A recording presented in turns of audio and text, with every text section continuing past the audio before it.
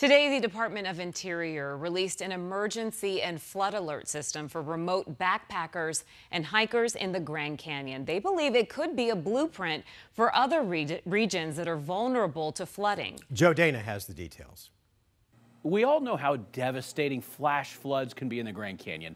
It's not just the river, but all those side canyons and feeders. A new tool was unveiled this week, the first of its kind in the country. It alerts campers and hikers in the 300 mile canyon about oncoming floods, debris flow, and boating hazards.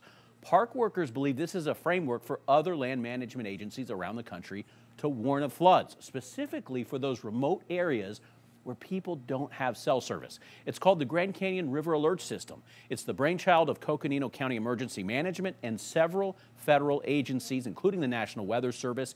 It's been in the making for years. Now you can actually sign up for the free satellite subscription. It's designed to send custom hazard alerts to any device, including your phone, anywhere in the canyon by satellite. The lead meteorologist at the National Weather Service in Flagstaff says one of their biggest frustrations is they can't reach people in the canyon when there's a flash flood warning. This tool integrates decades of knowledge to tailor alerts to campsites, tributaries, and land formations. If there's rainstorms there, there's going to be water coming off those cliffs. I spoke with a member of a working group on this project, Grand Canyon researcher Tom Martin. Martin points out that something like this could come in handy not just for the canyon, but for several flood prone areas in Arizona. It's the Paria River down through um, Paria Canyon, uh, slot canyons where, where people have died. Antelope Canyon comes to mind. There's a number of places all across the state of Arizona, incredibly wild and very wonderful places that you really don't want to be um, if there's a flash flood.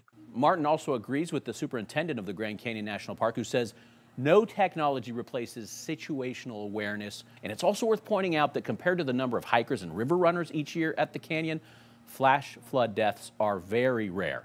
But as we learned just last year at Havasupai, when they hit, they can be tragic.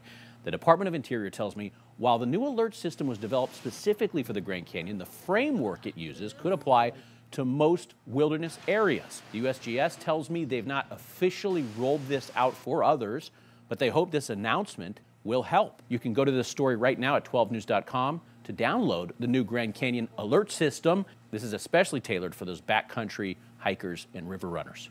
Joe Dana, 12 News. Joe, thanks.